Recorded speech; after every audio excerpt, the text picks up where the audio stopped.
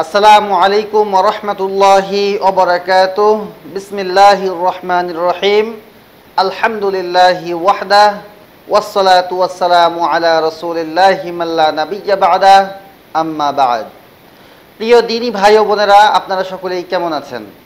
আমি আশা করি মহান আল্লাহ তালার অশেষ রহমতে আপনারা সকলেই ভালো আছেন। বন্ধুগণ, আপনাদের দোয়ায় আলহামদুলিল্লাহ, আমিও ভালো আছি। তো আজকে খুবই গুরুত্বপূর্ণ একটি বিষয়ে আলোচনা করব। তা হলো যে আল্লাহ তাআলা প্রতিদিন জান্নাতের মধ্যে কাদের জন্য মেহমানদারির ব্যবস্থা করে রাখেন? আমরা যদি জানতে পারি যে আল্লাহ তালা কাদের জন্য প্রতিদিন জান্নাতের মধ্যে মেহমানদারির ব্যবস্থা করে রাখেন, তাহলে আমরা সেই সমস্ত মানুষদের মধ্যে সামিল হওয়ার চেষ্টা করতে পারব। তারা যে কাজ করে, তারা যে আমল করে, এই ফায়দা অর্জন করে আল্লাহ তালা তাদের জন্য জান্নাতে মেহমানদারির ব্যবস্থা করে রাখেন। আমরাও যদি ঠিক সেরকম আমল করি, সেরকম কাজ করি, তাহলে আল্লাহ তালা আমাদের জন্যেও প্রতিদিন আল্লাহ তালা জান্নাতের মধ্যে মেহমানদারির ব্যবস্থা করে রাখবেন। প্রিয় বন্ধুগণ, এ সম্পর্কে একটি হাদিস উল্লেখ হয়েছে সহি বুখারিতে। হাদিস নাম্বার ছয়শো বাষট্টি। হাদিসটি বর্ণনা করেছেন রাসুল সাল্লাহ আলাইহি ওয়াসাল্লামের খুব কাছের একজন সাহাবি। হজরত আবু হুরাইরা রাজিয়াল্লাহ তালা আনহু। হজরত আবু হুরাইরা রাজিয়াল্লাহ তালা আনহু থেকে বর্ণিত আল্লাহর রাসুল সাল্লাহ আলিহি ওয়াসাল্লাম বলেছেন, যে ব্যক্তি সকালে বা সন্ধ্যায় যতবার মসজিদে যায়, আল্লাহ তাআলা তার জন্য জান্নাতে ততবার মেহমানদারির ব্যবস্থা করে রাখেন। প্রিয় বন্ধুগণ, আপনারা হাদিসটি শুনলেন।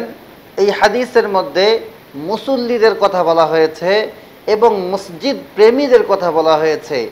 যারা আল্লাহর সন্তুষ্টির জন্য, আল্লাহর ইবাদতের জন্য যারা বেশি বেশি মসজিদে গমন করে, মসজিদে সালাত আদায় করে, তাদের জন্য আল্লাহ তালা জান্নাতের মধ্যে মেহমানদারির ব্যবস্থা করে রাখেন। তারা সকাল থেকে সন্ধ্যা পর্যন্ত যতবার মসজিদে যায়, আল্লাহ তালা তাদের জন্য জান্নাতে ততবার মেহমানদারির ব্যবস্থা করে রাখেন। সুবহান প্রিয় বন্ধুগণ আমি সকাল থেকে শুরু করে, আমি যদি মসজিদে যাওয়া শুরু করি, সকালে মসজিদে যাই, দুপুরে মসজিদে যাই, সন্ধ্যায় মসজিদে যাই, আর এমত অবস্থায় সন্ধ্যার পরে যদি আমি মৃত্যু বরণ করি, আর আল্লাহ যেহেতু আমার জন্য জান্নাতে মেহমানদারির ব্যবস্থা করে রাখে, রেখেছেন, সেহেতু আমি কখনো জাহান নামে যেতে পারি না। অবশ্যই আল্লাহ তালা আমাকে মেহমানদারি করাবেন, অবশ্যই আল্লাহ তালা আমাকে জান্নাত দান করবেন। প্রিয় বন্ধুগণ, এই ফাজাইল, এই ফজিলত শুধুমাত্র মুসল্লিদের জন্য, মসজিদ প্রেমীদের জন্য, যারা মসজিদ গমন করে মসজিদ গমনকারীদের জন্য। আমরা অনেকেই আছি, আমরা কারণে, অকারণে আমরা মসজিদে যাই না। বাসার মধ্যেই অনেক সময় সালাত আদায় করে থাকি। কিন্তু বন্ধুগণ, রাসুল সাল্লু আলিহি ওয়াসাল্লাম সুন্নত এবং নফল নামাজ ব্যতীত অন্যান্য নামাজ মসজিদের মধ্যে পড়তে বলেছেন, ফরজ নামাজগুলো মসজিদের মধ্যে পড়তে বলেছেন। তিনি বাসায় নামাজ পড়াকে অনুৎসাহিত করেছেন এবং মসজিদে নামাজ পড়াকে উৎসাহ দিয়েছেন।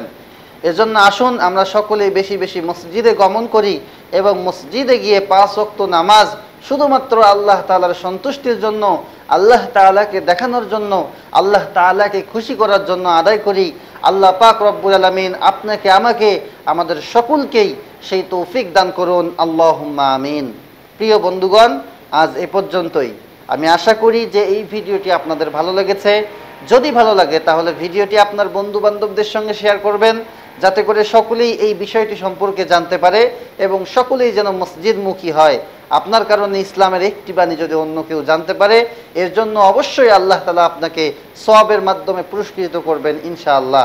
এজন্য ভিডিওটি বেশি বেশি শেয়ার করবেন আর নিয়মিত আমাদের এই চ্যানেলের সকল ইসলামিক ভিডিও পেতে চাইলে সুন্দর সুন্দর দোয়া, হাদিস, মাসলা, মাসাইল সম্পর্কে জানতে চাইলে চ্যানেলটি সাবস্ক্রাইব করে পাশের বেল বাটনটি অন করে আমাদের সঙ্গেই থাকবেন। আল্লাহ চাহে তো দেখা হবে পরবর্তী কোনো একটা ইসলামিক ভিডিওতে। সেই পর্যন্ত আল্লাহ হাফেজ। ওয়াসালামু আলাইকুম রহমতুল্লাহি অবরাকাতুহ مولاي صل وسلم دائما ابدا على حبيبك خير الخلق كل